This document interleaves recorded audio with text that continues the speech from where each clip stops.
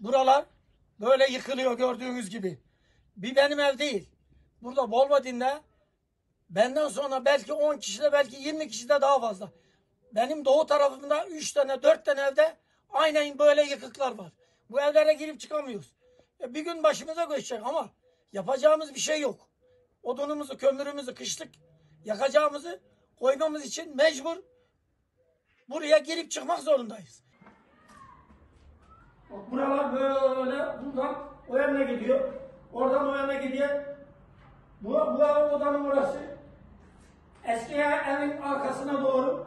Bu- Buralar el girecek şekilde çatlak.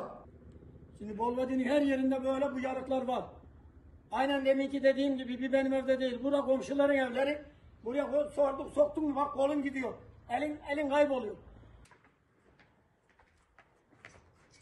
Daha fazla video izlemek için kanalımıza abone olabilir, ilk izleyen olmak isterseniz bildirimleri açabilirsiniz.